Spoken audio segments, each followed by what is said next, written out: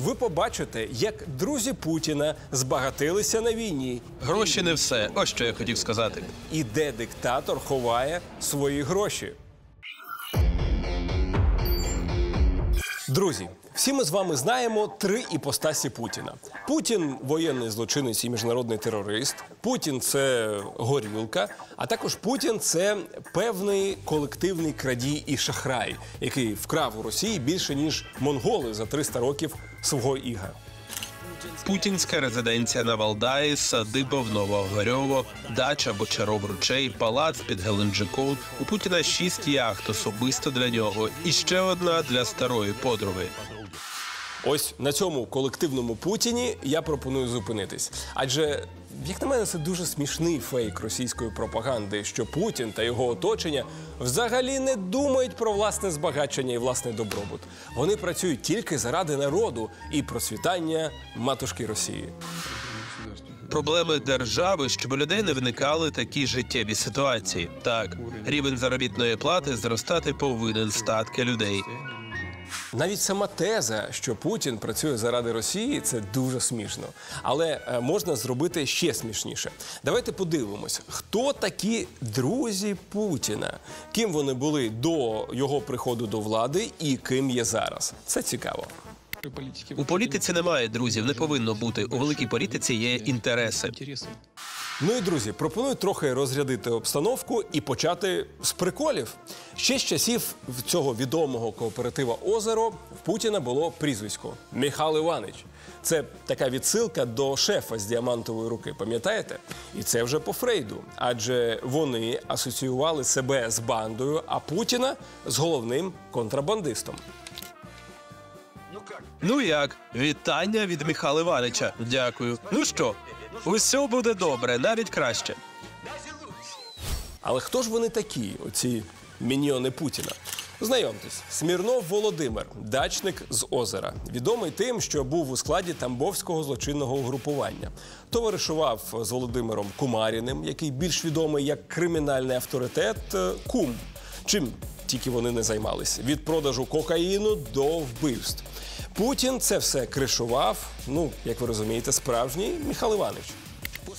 Після відстрілу самбіста Освятцева його місце в організації зайняв боксер Кумарін. Цю організацію для зручності ми називаємо Тамбовським злочинним угрупуванням. Саме на нього працював віцемер Петербургу Володимир Путін. І вже після того, як Путін став президентом, він призначив бандита Смірнова радником керівника Росатому. В принципі, в мене поки все логічно, адже Росатом це справжня злочинна структура, тож не дивно, що в її керівництві злочинці. на данный момент. На цей час на Запорізькій атомній електростанції радіаційний фон в нормі коливається від 0,8 до 12 мікрозівертів при допустимому порозі 0,3 мікрозіверта.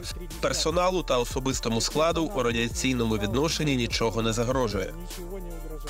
Тепер ми з вами дістались до свинок покрупніше. Юрій Ковальчук, пітерський друганя Путіна, мільярдер, воєнний злочинець, так як е, він захопив підприємство в окупованому Криму. Це мінімум. А ще він курує путінську пропаганду. У 2008 році він створив національну медіагрупу, до якої входять перший канал, РЕН-ТВ, Звєстія та інші помийки. З 2022 року цей медіахолдинг під санкціями Європейського союзу за пропаганду війни, дезінформацію та виправдання агресії проти України. Кар'єру Ковальчука можна знаєте описати одним таким реченням: був в кооперативі Озеро, а став головним акціонером банку під назвою Росія. Вкрай непублічний менеджер фінансової імперії Путіна, одна з найвпливовіших людей в кремлівській свиті. Особистий гаманець кремлівського диктатора, власник комерційного банку Росія, який за кількістю привілей та повноважень може сперечатися з будь-якою державною установою. Путін відкрив там свій рахунок і перевів туди свою зарплату. Саме так. Але друзі, вам буде більш цікаво почути не про Юрія, а про його старшого брата Михайла. І ось чому.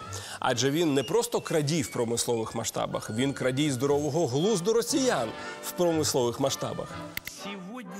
Сьогодні виникла реальна технологічна можливість втрутитись в процес еволюції людини, і мета створити принципово новий підхід Homo sapiens – службова людина. максимально з'їхавший з глузду конспіролог, уфолог, е, рептилоїдеознавець і нанодисидент. Сьогодні вперше в історії цивілізації з'явилась технологічна можливість створити службову людину. Ви берете штучну матку, інкубатор, як курчат виводити, і далі штучно з пробірки, так би мовити, засаджувати все, що треба, скорочувати термін вагітності, генетично редагуємо, підрізаємо функції, і ви отримуєте людей, таких, які вам потрібні. Є припущення, що саме Михайло Ковальчук вливає до голови Путіна, якщо це можна назвати головою, весь цей божевільний угар, яким постійно і хизується шалений дід на прес-конференціях.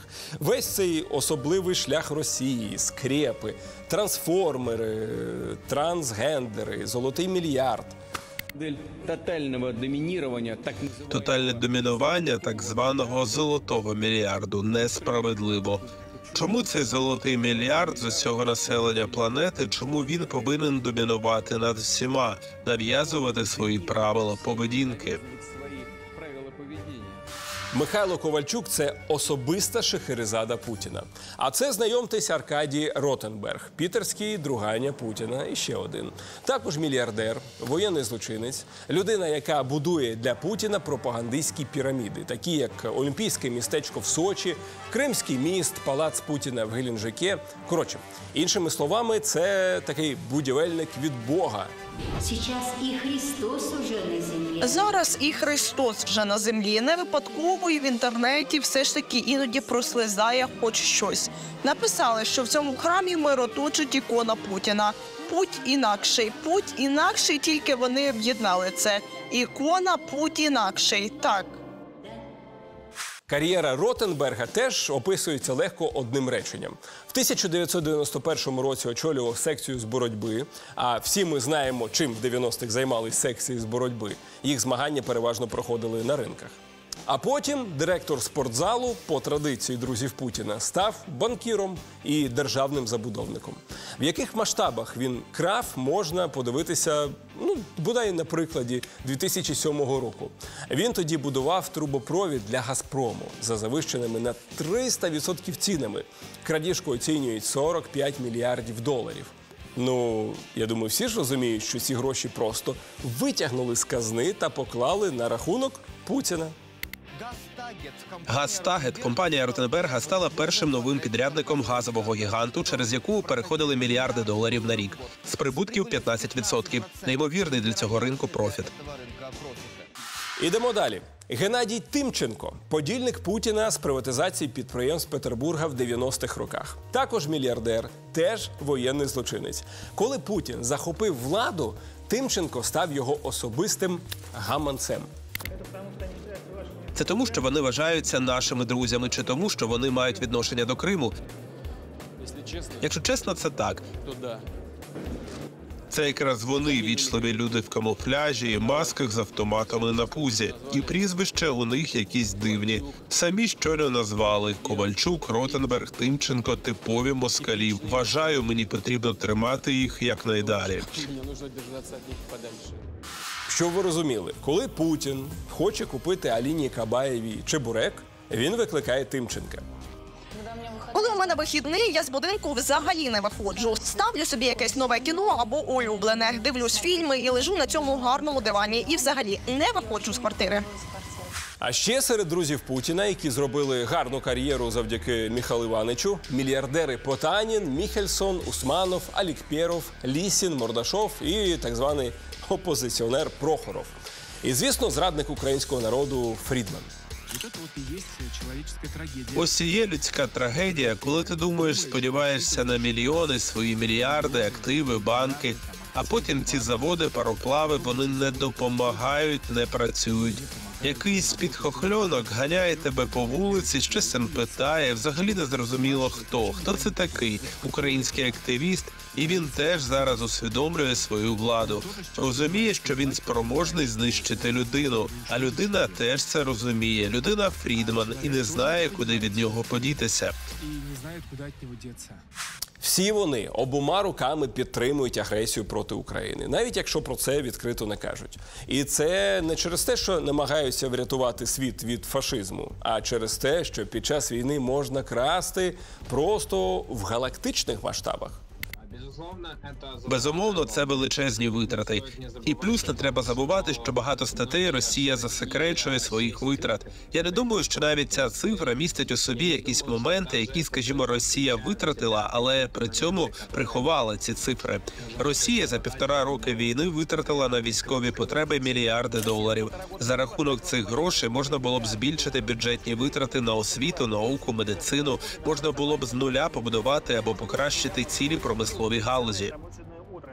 Запитаєте, чому? Бо поки Путін та його пропаганда просять росіян затягнути паски заради віліччя, поки з екранів росіянам щоденно розповідають про багатство і особистий добробут, що це взагалі-то не важливо, а важливіше велич матушки Росії.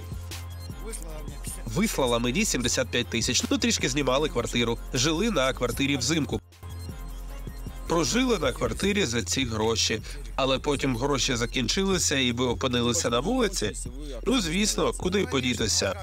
Ну, ви як і раніше. Звісно, єдина Росія це гарна організація, гарна партія. Якщо ви бажаєте жити так, як ми, голосуйте за єдину Росію. Поки росіяни стоять в кілометрових чергах за продуктами, поки росіяни мерзнуть у власних оселях і сумлінно витримують всі негаразди заради якоїсь міфічної перемоги над НАТО, нацистами і бандерівцями. Найближчі друзі Путіна за час повномасштабної війни проти України збагатилися ще на 50 мільярдів доларів. Ой-ой-ой, як незручно вийшло. Значить, комусь гинути в окопі невідомо за що, а комусь гинути в Дубаї від переїдання чорною ікрою та газів від шампанського кристал. Друзі, важливо зрозуміти, що в колективного цього Путіна немає жодних моральних, етичних чи державних принципів. Колективний Путін загострений лише на одне на видобування з Росії бабла. І його витрачанні важливо не в Росії, а вся ця маячня про наддержаву, руський мір, скрепи, Донбілі Донбас виключно для холопів, щоб їм було не так сумно сидіти напівголодними в холодній оселі. Місто Електросталь, східний бік. Знаходимось без опалення з самого початку опалювального сезону. В квартирах від 10 до 17 градусів тепла в різних будинках. Електросталь замерзає. Користуємось опалювальними приладами різними. В будинках знаходитися неможливо. Замерзаємо, замерзаємо, замерзаємо. Тож цьому фейку я ставлю одну гойду з десяти, бо в принципі і так про це всі знають, навіть росіяни. Вони просто, як ви розумієте, бояться визнати, що вони звичайні лохи, якими майже чверть століття править банда шахраїв. Ну тому що, ну тому що. Тому що тому. Друзі, і наостанок дуже важлива приказка. Запам'ятайте, в гаманцях Путіна немає презервативів, тому що презервативи носять гаманці Путіна. За мить ми продовжимо розвіювати російські фейки.